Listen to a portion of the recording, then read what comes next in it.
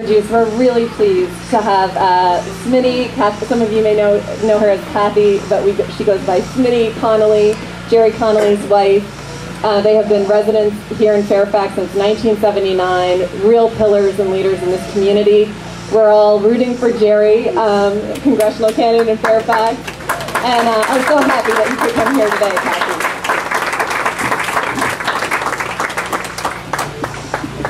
Thank you, Joni.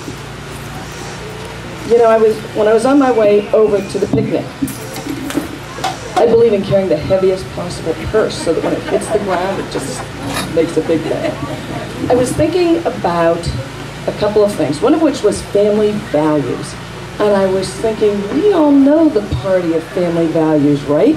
That's Republicans, aren't they? No. Oh, it's not? So we're the party of family values, and that could be maybe because we believe in universal health care? Yeah. Could it be that we're the party of family values because we believe in a good education for all of our children?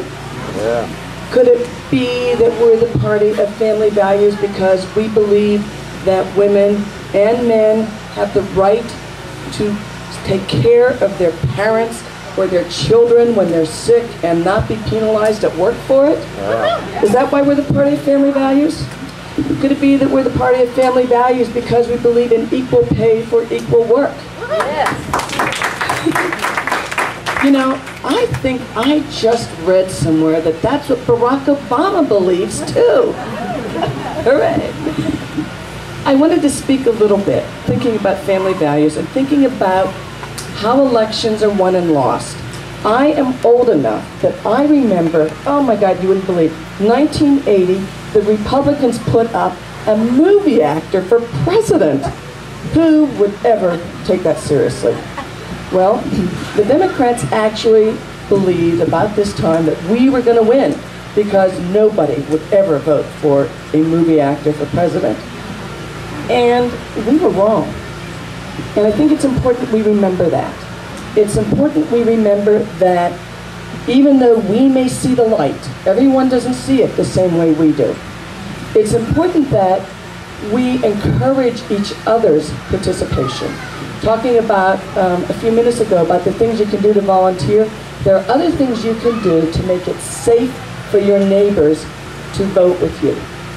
One of those things is put a yard sign on your lawn, put a bumper sticker on your car, organize, uh, invite people over who are interested in just being with like people.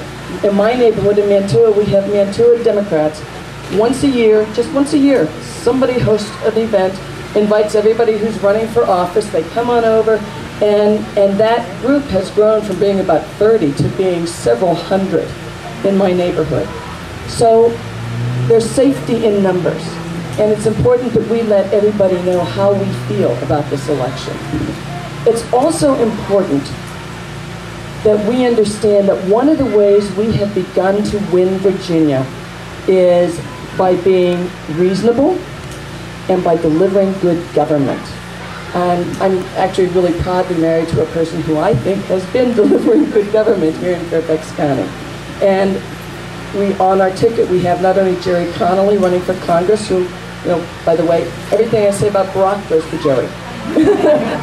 um, but we've got Mark Warner on the ticket, and we've got Barack Obama on the ticket. Those three together are out there for those leaders, work for them, vote for them. Thank you for everything you do. Remember, let's get out there. Let's not assume that we're going to win this election. None of us can assume we win this election. We need, as Gerry likes to say, three things. The three V's.